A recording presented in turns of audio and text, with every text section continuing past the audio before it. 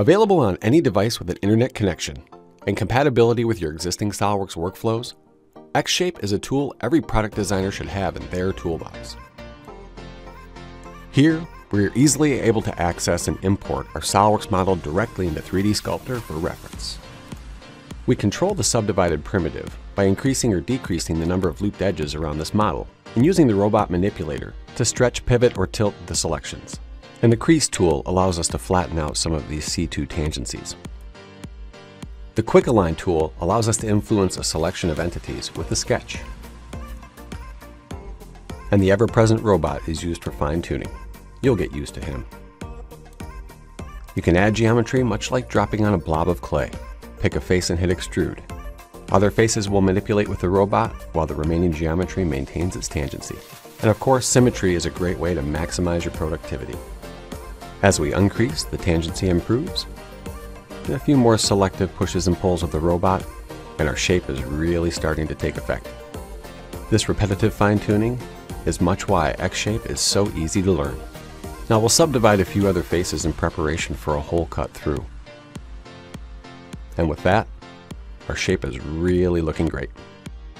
Now let's check in with Don, who's using SOLIDWORKS Desktop connected to the 3D Experience platform. He wants to see how the body design is going and can easily access the data through the cloud using the SOLIDWORKS task pane. As we insert the body from X-Shape, you can see how it aligns with the rest of the SOLIDWORKS native geometry. With the thrusters newly added, Don wants to let Dan know exactly what needs to happen to the body design in order to accommodate. We need an area for a hatch and for two thrusters on each side. And accessing 3DSwym through our community in the task pane is an easy way to communicate. In the meantime, he continues the design by modifying the X-shape native geometry and adding SOLIDWORKS features like shells and cuts. When the X-shape data updates, so will his features. Back on the 3D Experience platform, Dan gets the update and sees how the SOLIDWORKS data aligns with his body design. And the quick notes that Don provided will be key to a quick update.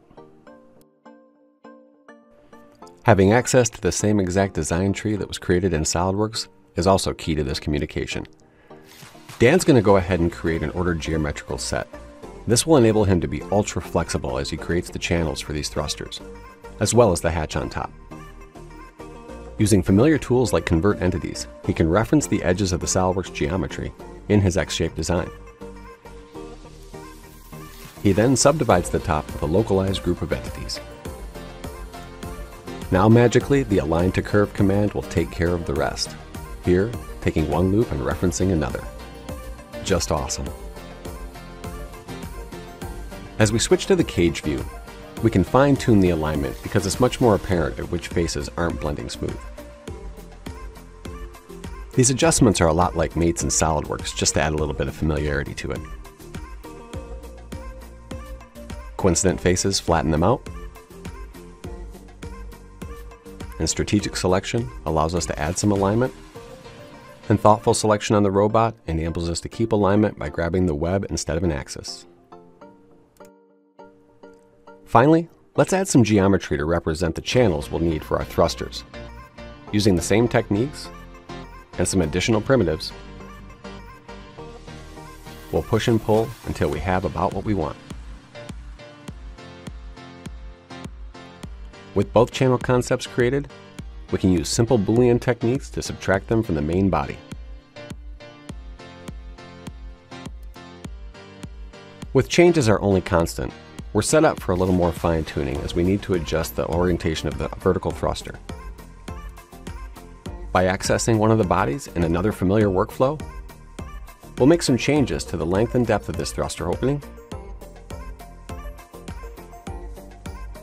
And as we rebuild and roll these changes through the design tree,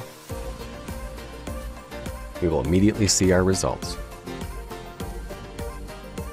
Perfect. This is a truly innovative approach to industrial design and really just a lot of fun. As our new body design in X-Shape gets updated back in SOLIDWORKS, we can complete the design with a multi-body master model technique. The seamless integration of X-Shape with SOLIDWORKS gets this job done right.